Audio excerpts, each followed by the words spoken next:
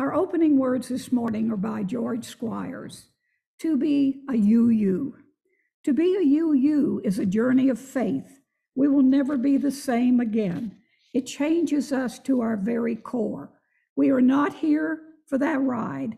A service of lifetime is our call, meeting all the unexpected head on. But we are not alone. In the midst of all, it is the beloved community. It is more than a name, our declaration of action. This is who we are. The world has been through a lot of hell, and indications point to a lot more on the way. Injustice never takes a vacation. Man's inhumanity to man continues at full speed. We are in it for the long run. This is not a faith for the faint hearted. Being a UU is no walk in the park, but it is well worth it. This is what it is to be a UU. Treva will light the chalice here in the sanctuary. I invite you to light your own chalice and place it where it can be seen by all of us if you're able.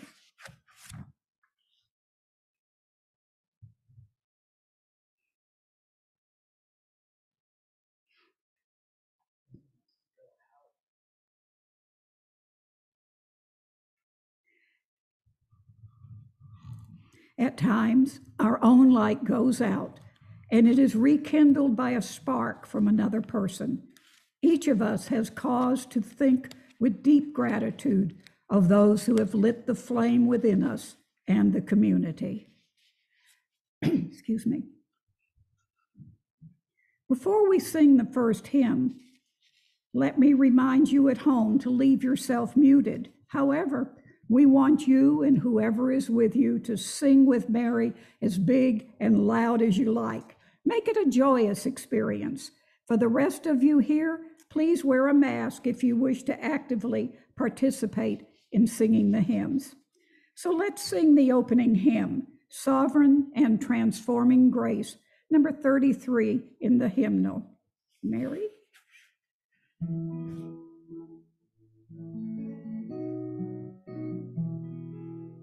Sovereign and transforming grace, we invoke your quickening power. Reign the spirit of this place, bless the purpose of this hour. Holy and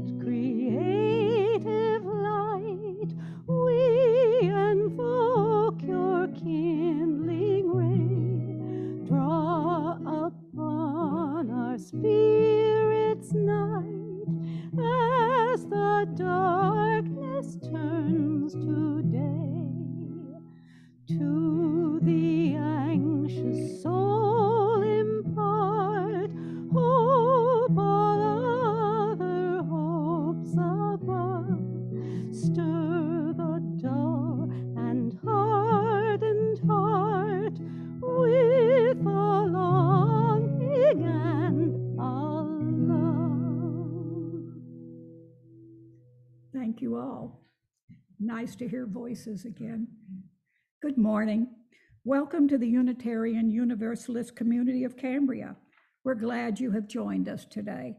We acknowledge that our UUCC sanctuary stands on land that was originally occupied by coastal Chumash indigenous peoples, whose ancestors lived primarily in the San Luis Obispo, Santa Barbara, and Ventura counties. As a Unitarian Universalist community, we celebrate religious diversity and welcome all who journey in search of faith and spirituality. The UUCC is a lay led congregation inviting speakers from different religious traditions and spiritual or scientific backgrounds to speak at our pulpit. We encourage presentations covering a variety of topics and areas of interest to our community that connect with our seven principles. Today's service centers around the second principle. We affirm and promote justice, equity, and compassion in human relations. Compassion is something that we can easily act on individually. We can demonstrate openness, give people respect, and treat people with kindness on our own. But we need one another to achieve equity and justice. It points us to the larger community. It promotes collective responsibility. It reminds us that treating people as human beings is not simply something we do one on one, but something that has a systemic has systemic implications and can inform our entire cultural way of being. My name is Judy Butler, and I am your worship associate this morning. I'd like to extend a special welcome to today's guests and visitors. We're glad you joined us this morning. If you're not on our mailing list, please visit our website at www.uucambria.org so that we can keep you informed about all of our activities. And please check out what's happening, a weekly e-blast sent to all our members and friends. This is a great way to keep up with the latest news in our community. And a reminder, if you wish to see this or any of our past Zoom services, again, recordings of these services can be found on the UUCC website and Facebook as well. The membership committee invites non-members to consider joining our community. Please contact Janet Cooper or a person on the board if you are interested. Thank you. So again, good morning and welcome to everyone. The affirmation is both a recognition of the nature of our community as well, as well as a promise we make and aspire to. So let us now recite our affirmation. Love is the spirit of this church, and service is his prayer. This is our great covenant to dwell together in peace, to seek the truth and freedom, and to help one another. We set aside this time for any short announcements that would be of interest to our UU community members and friends. Please keep your items short and to the point. For any items that need more explanation, please call or email the person after the service to be respectful of everyone's time. If you have an announcement, please raise your hand or your Zoom hand by clicking on the raised hand button in the reactions icon. When Andy calls your name, please unmute yourself, then speak. Treva?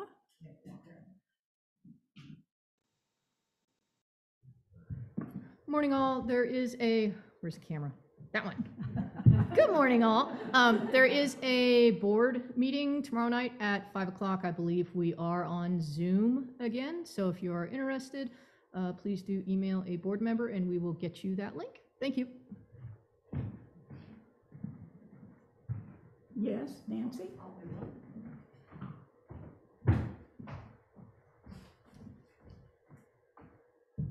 Good morning.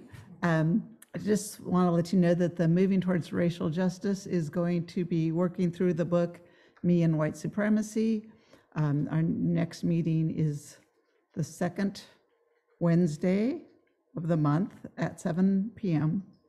Um, So uh, this next meeting, since we're just starting this book, is to read the whole introduction. It's about 25, 30 pages, and then do the first two days of prompts. Thank you. Hope you can join us. It's always open to anybody.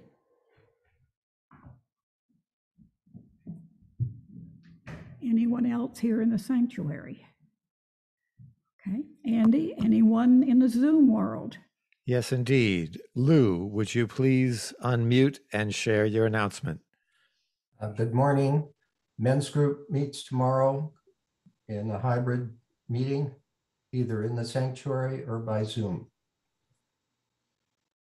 Okay, thank you, Lou. Anyone else in the larger world? I don't see any more hands. Back to you, Judy. All right. Next week, Dolores Miera will read Emotional Intelligence and Leadership by Dory Davenport Thexton and Daniel Goleman. Today, being the third Sunday of the month, we welcome a witness to our virtual pulpit. A moment of witness is widely practiced in Christian and Islamic denominations as a means to bear witness or give testimony about the way a specific religious affiliation has impacted one's life. Our hope is that in their moment of witness, a congregant here can briefly share a significant experience that moved them, helping all of us to deepen our relationships with Unitarian Universalism and strengthen our ties to the community. Nancy Tholen, please come forward and share with us this morning.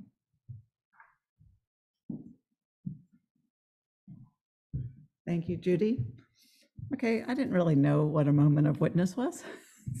So this might not be exactly right, but to me, I see religion as those little moments of awe that you witness throughout a day. So every day I look for little moments that give me joy.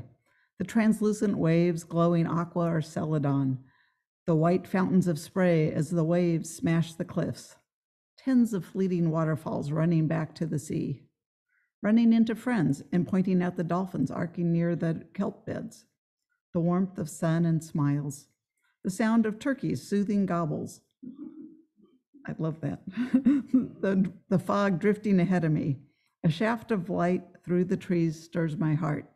The taste of fresh ros- rob- the taste of fresh raspberries, or nectarines, or chocolate. These and other moments of joy are everywhere. What will your senses appreciate today?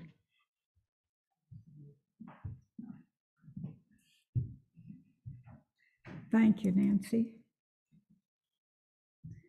Sharing together some of our personal and significant joys and concerns brings us closer as a faith community.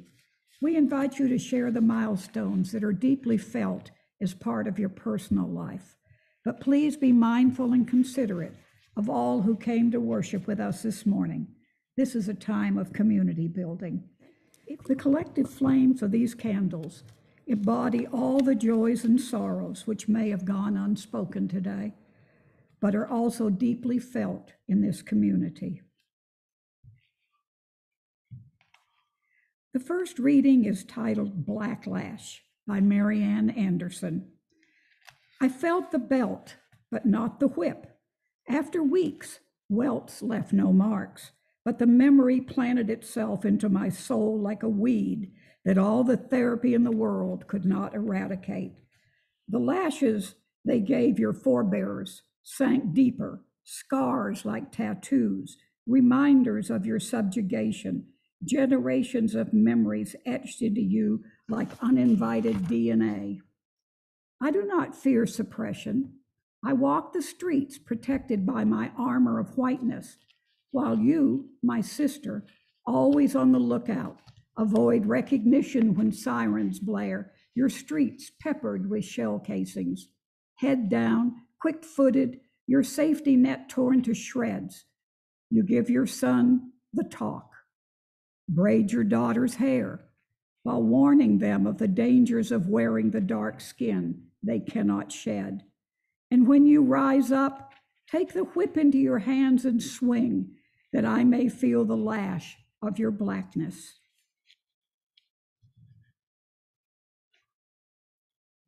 Let us join in a time of meditation, of prayer, and of silence. Let us seek the quiet and the calm laying aside our struggles. And in the silence, may there be a reverence in our hearts, a thankfulness within our spirit, and a deepened understanding of the meaning of our lives. Let us enter the stillness.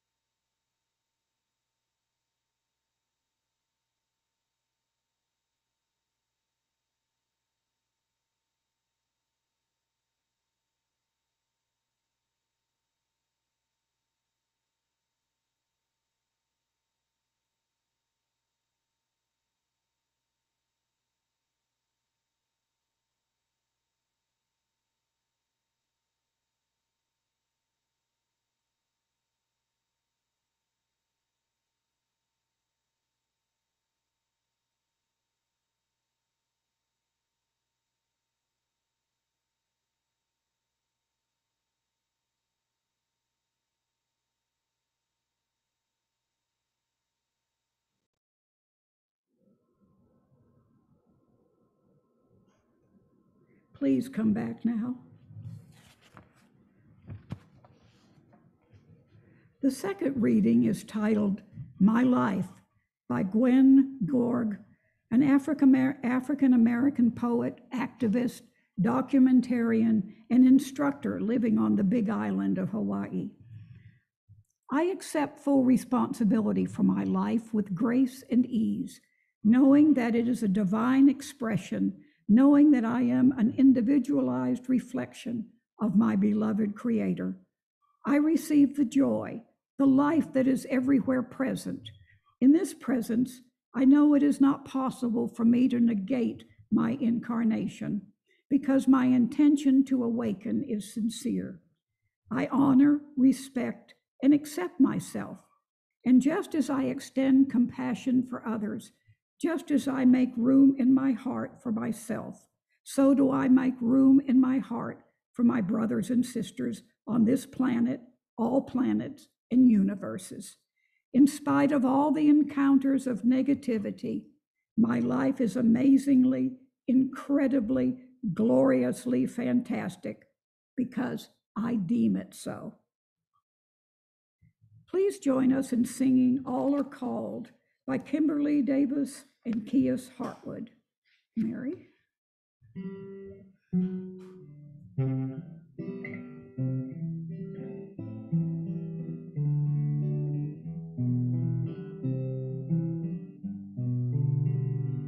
all are called to this moment. All are called Hearts knit strong by compassion. All are called to this day.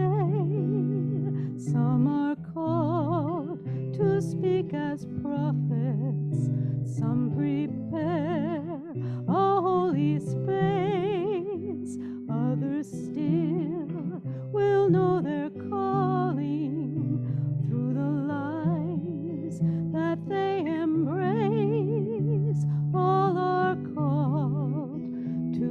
Moment. All are called in many ways. Hearts knit strong by compassion. All are called to this day. Some are called to life's creative, some to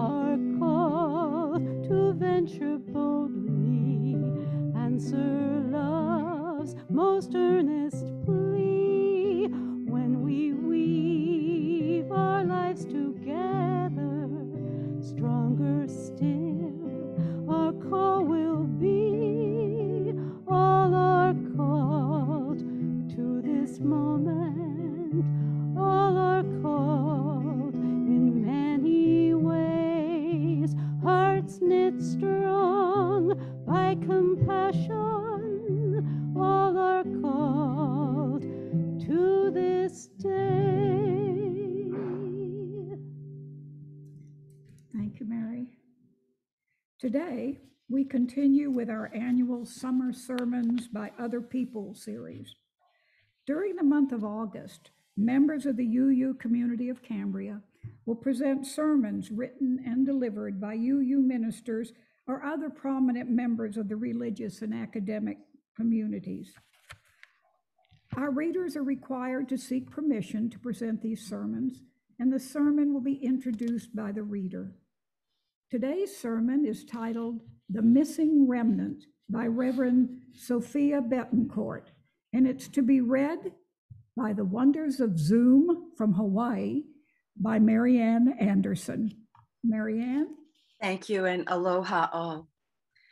Uh, this morning's sermon is written by Assistant Professor of Theology and Ethics at Starr King School for the Ministry, Sophia Betancourt. Her work as a religious educator, parish minister, and seminary professor provide well honored, honed leadership qualities and prompted the UUA board to, support, to appoint her interim co-president of the UUA Commission for Institutional Change on April 10th, 2017. This sermon was delivered June 21st, 2018, at the Service of the Living Tradition, which honors religious professionals reaching ministry milestones in the preceding year. We are on a journey toward redemption.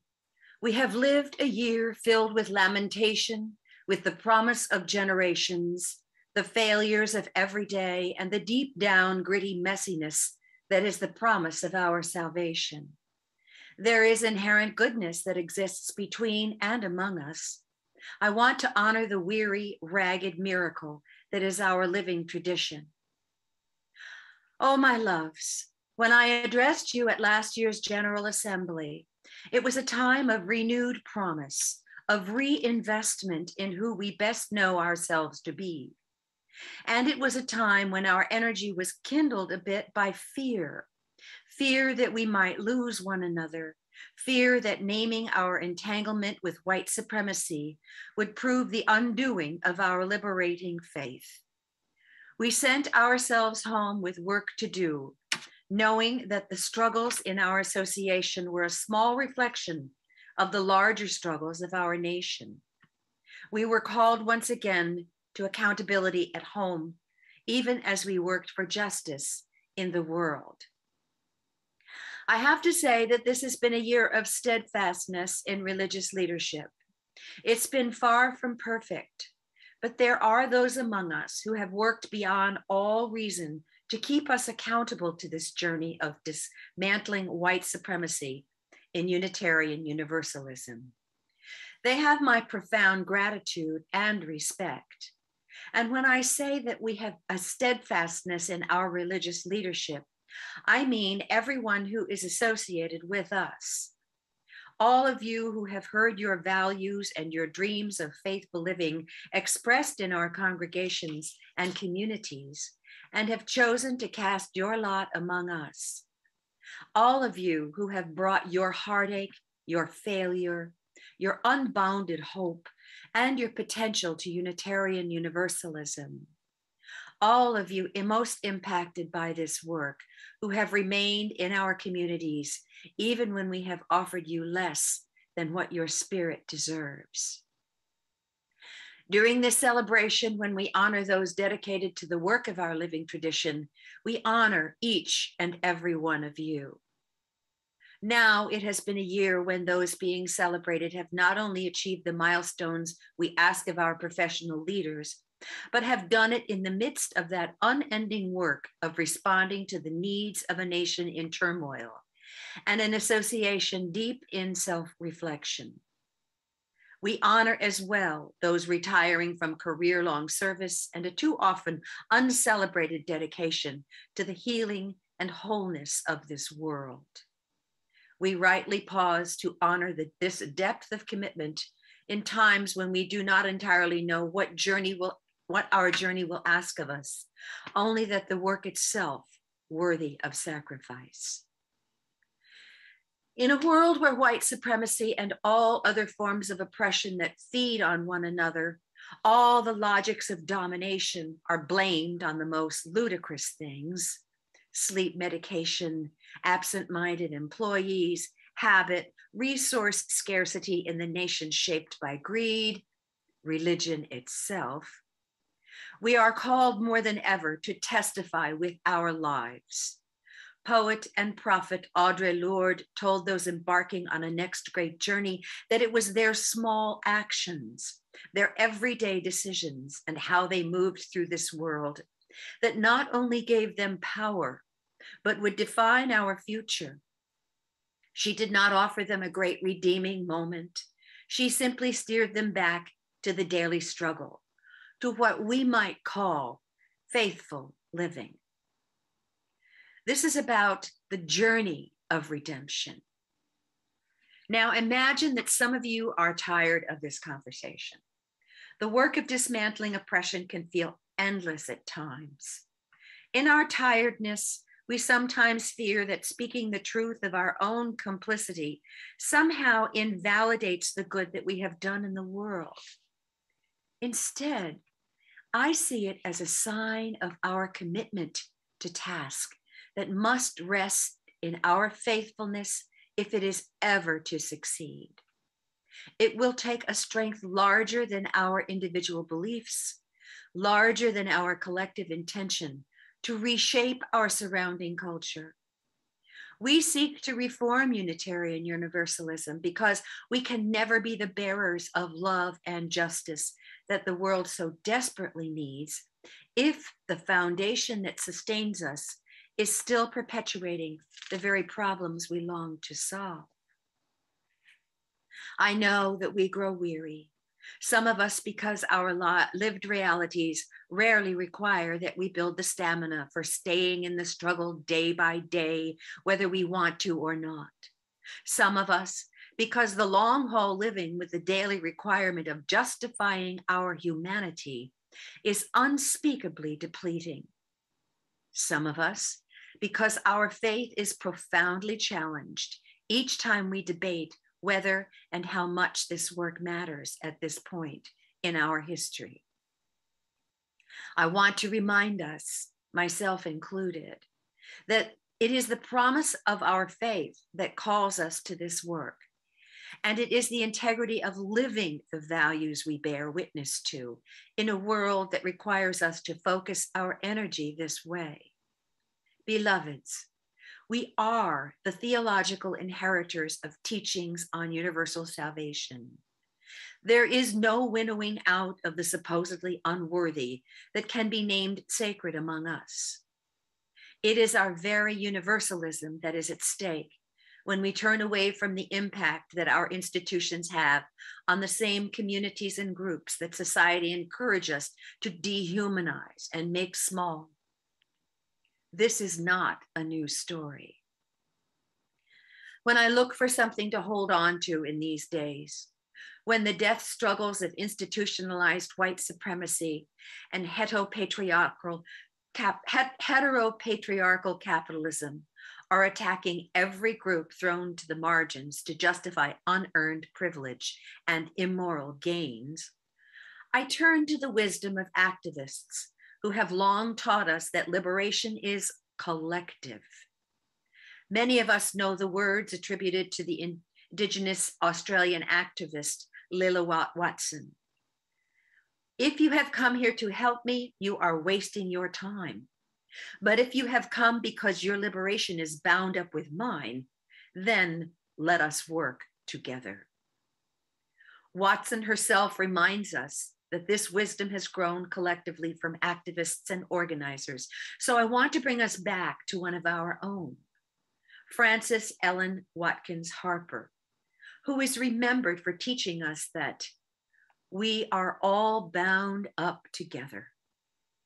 Collective salvation was not a new idea at the time, though Harper predates the theologians in our tradition, best, is best known for embracing this worldview.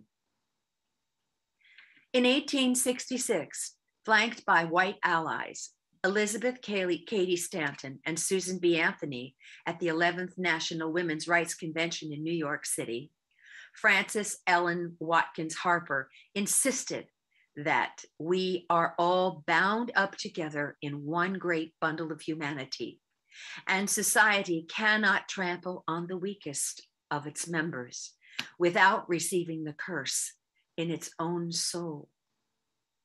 Harper, a freeborn Black woman who belonged to both Unitarian and AME churches, lived her life using her relative privilege to fight for the freedom of her people, all of her people. This beautifully intersectional abolitionist organized for women's suffrage alongside the ending of slavery and civil rights for all. She challenged us on the dire consequences of oppression and how the violence we inflict on those we convince ourselves are less worthy harms not only those who, whose sacredness we dishonor, but irrevocably violates our own souls as well. I'm not going to continue quoting from her speech because the accepted ableist language of her time has no place in a modern pulpit. But I want to us to understand that we are also inheritors of Harper's insistence that there is a level of immorality worse than the systemic oppression we are giving so much, very, very much of ourselves to uproot from our beloved communities. When the poetry poured from this Black mother's heart, she unflinchingly called the nation to account for reaching out to peoples of African descent for help in a time of great need, then utterly rejecting them once again in times of safety. Beloveds, I am not suggesting we are repeating the depths of infamy, to use Harper's words, of Civil War America, but I am experiencing echoes that frighten me. The journey toward redemption includes truth telling. And I'm going to ask you to bear with me for a minute, trusting that I know every congregational and communal situation is complex, just as I know that we can do better, that I can do better. This is a year when we have rightly thanked our gifted religious educators for their compassionate investment in our faith formation through the white supremacy teach ins. I have heard anecdotally that this is also a year when many religious educators of a wide range of racial and ethnic identities, including white co conspirators, have struggled with ministerial supervisors who are not as committed to this work. This is a time when more than 800 of our congregations, excuse me, have engaged in communal learning about dismantling white supremacy and it is also a time when we have needed interventions from the UUA and received negotiated resignations from religious professionals of color at unprecedented levels. Let me be clear. When we do this work, we almost always ask more of the people most impacted by it, project our greatest fears onto them, and allow the system to remove them rather than sustain the deep culture changing work required for us to truly live our values in the world. And this is not just about race or ethnicity. It is about every disempowered group in our leadership.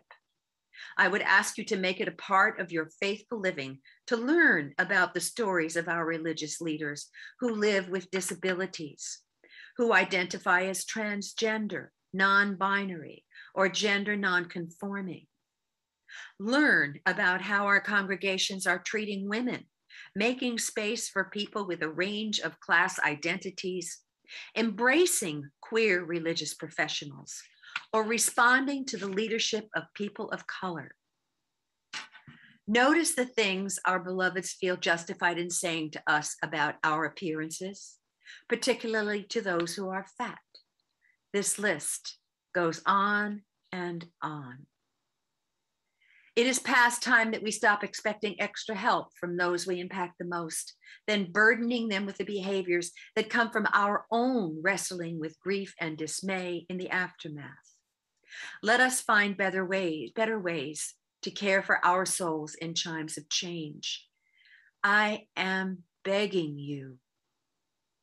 The journey toward redemption is about truth telling, lamentation, and owning our wrongs while at the same time claiming the profound possibility that calls us forward. We are the inheritors of the legacies of white supremacy, but also of an unimaginable grace, of certainty in the possibility of redemption, of weaving a tapestry of leadership that may not yet be what we long for, but is called to be the richest expression of humanity's sacredness. We believe in human capacity great enough, God loving enough, values strong enough, communities dedicated enough, and leaders humble enough to move us toward redemption. And I think we know that redemption is a shared ministry that means everyone, that elevates us all, that seeks out the suffering, neglected places in the world and breathes the holy back into them. Redemption is a professional religious leadership that is humble, that apologizes, and that limits its own power to move us toward a greater truth. Moving in that direction means trying even when we don't know how it can ever come to pass.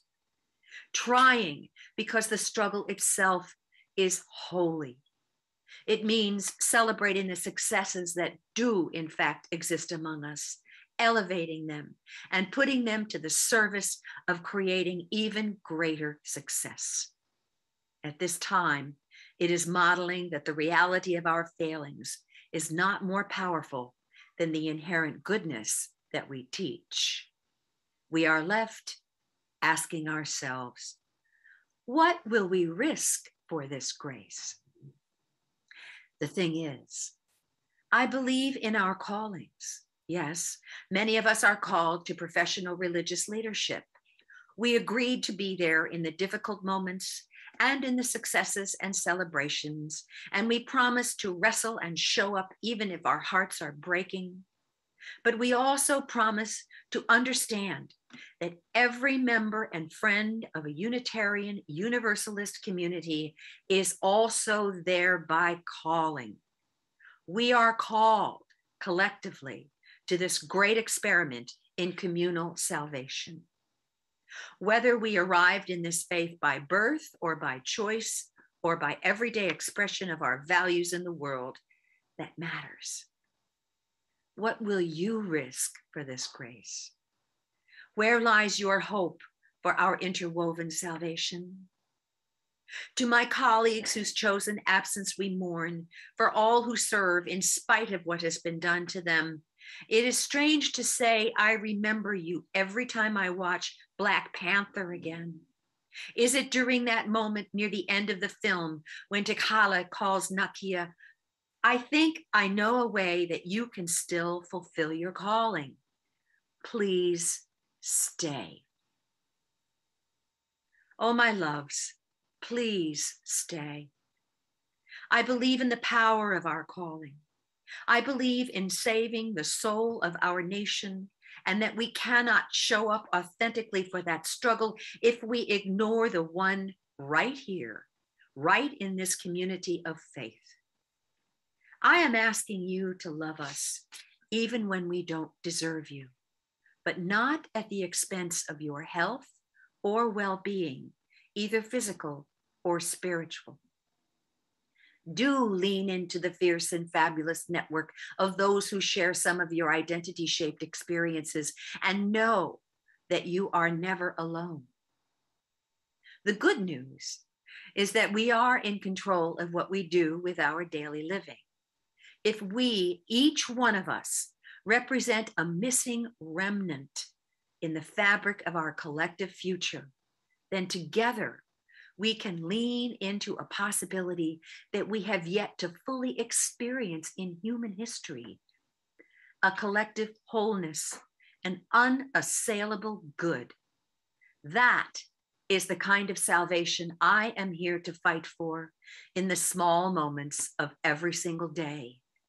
So let us hold ourselves accountable to this journey toward redemption. Immerse yourself unapologetically in what it means to be a Unitarian Universalist in these days. Then go out into the world and live knowing that your faith matters. May the poetry of our hearts set us free. Amen, Ashe, and blessed be. Thank you, Mary Wow. The morning offering will now be given and received. Please keep in mind that our congregation is entirely self-governed by the democratic process. One of the privileges of our free church tradition is to provide all of the financial support for our many ministries from among ourselves. Generosity, therefore, is one of the spiritual values we recognize as central to our personal and our institutional well-being. You are invited to participate in the blessing of giving. For those at home, please use one of the methods on the screen. Thank you. Jan?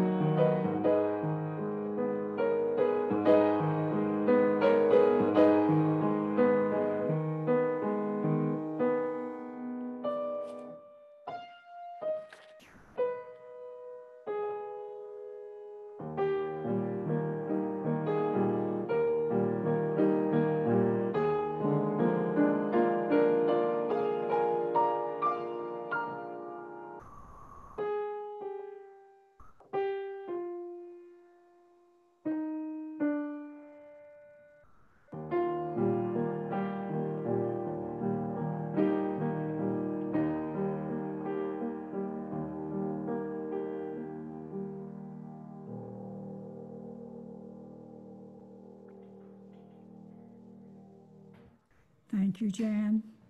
All thanks, our thanks for all gifts given and received for the work of this community.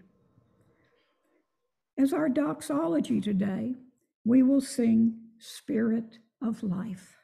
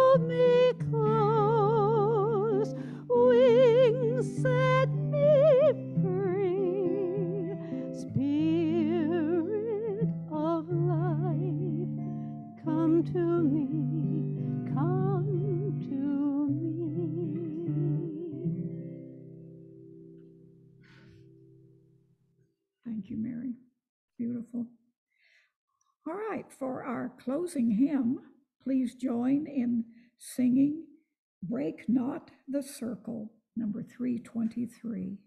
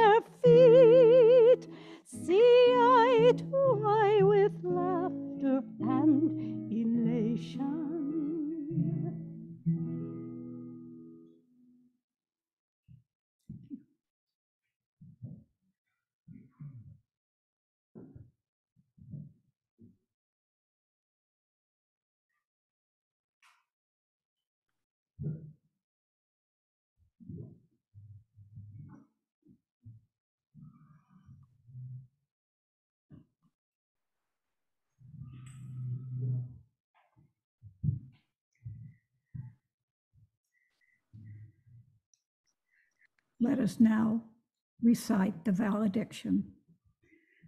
The flame of this chalice will no longer burn today, but the light of the flame within our hearts continues to shine brightly, illuminating the love felt in our community. And please extinguish your chalice at home now. Mm. After the benediction, please click on the Gallery View button in the upper right corner of your screen, but please remain muted. Andy will call on you when you raise your Zoom hand. Marianne will give our benediction today. Thank you. A quote from Amelia Earhart Courage is the price that life exacts for granting peace. May we all have the courage to light, unquote. May we all have the courage to light the flame of love and compassion in our hearts and light up the good in all we see.